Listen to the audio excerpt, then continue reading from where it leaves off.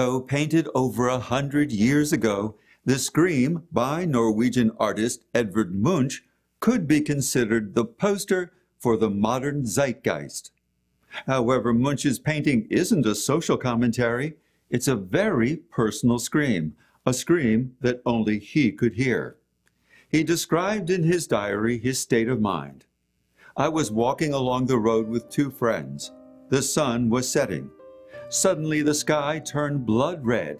I paused, feeling exhausted, and leaned on the fence.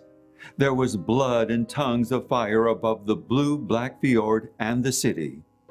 My friends walked on, and I stood there trembling with anxiety, and I sensed an infinite scream passing through nature.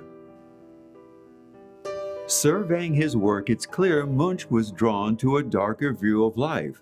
However, this painting crosses the line to psychosis. The visual inspiration for the central unisex figure is thought by some to be a Peruvian mummy on display at the 1889 exposition in Paris. Munch was in fact in Paris at that time. Munch's good friend Paul Gauguin borrowed the figure himself for several of his paintings. It's interesting to note the similarity in the two artists' style. So, a close connection of subject matter is certainly understandable.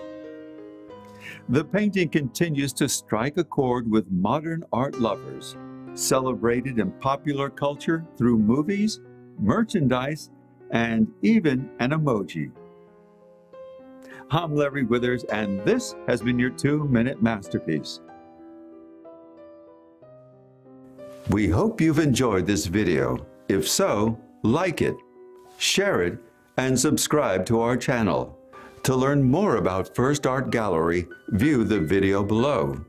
To see our other two-minute masterpiece videos, click on the playlist.